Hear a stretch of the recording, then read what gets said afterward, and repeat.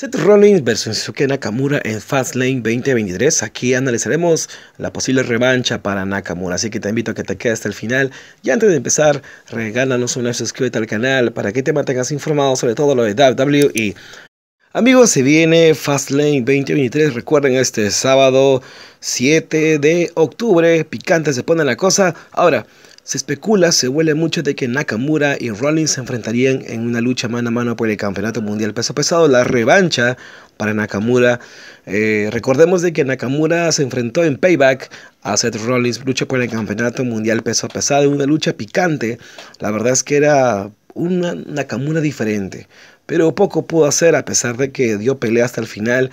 Seth freaking Rollins tumbó al japonés y la victoria fue clara para tener el campeonato.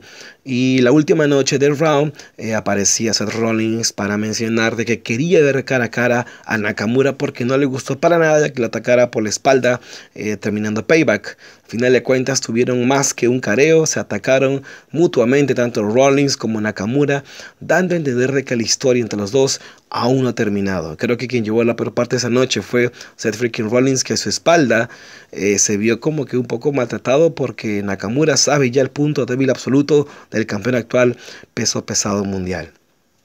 Ahora, yo creo que definitivamente esta lucha se va a tener que dar. Eh, Nakamura está alargando un poquito esta historia, pero lo podrían hacer en round. Y tanto Rollins como Nakamura nos regalaron una buena lucha en, en Payback de verdad. Y creo de que parte 2, quizás en una celda, podría ser más que interesante. Eh, Nakamura ha demostrado dignamente de que puede tener su revancha camino a este campeonato.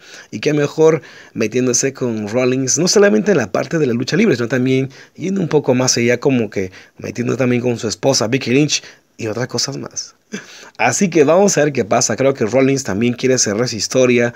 Es más, el mismo Rollins le pidió a Nakamura de que tengan una revancha de una vez para dejar cerrado y zanjado esta rivalidad que el mismo Nakamura lo provocó porque quería algo grande.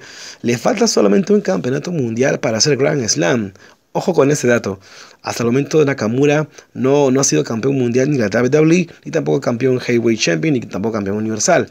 Por esa razón es que le falta este campeonato para recién ser un luchador de WWE Grand Slam. ¿Qué piensas tú? ¿Será que ves a Nakamura yendo por su revancha? Yo creo que sí, pero me encantaría saber la estipulación de este combate. Ah, podría ser una lucha de reglas extremas, puede ser una lucha en una celda en Hell de Cell o quizás otro tipo de, de, combates. Algo que quizás pueda beneficiar también a los dos luchadores de dar lo mejor.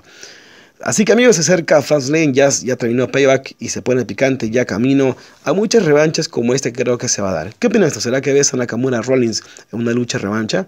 Por favor, déjanos tus comentarios. Y bueno, si te gustó el video, déjanos tu like, suscríbete al canal para que te mantengas informado sobre todo lo de WWE.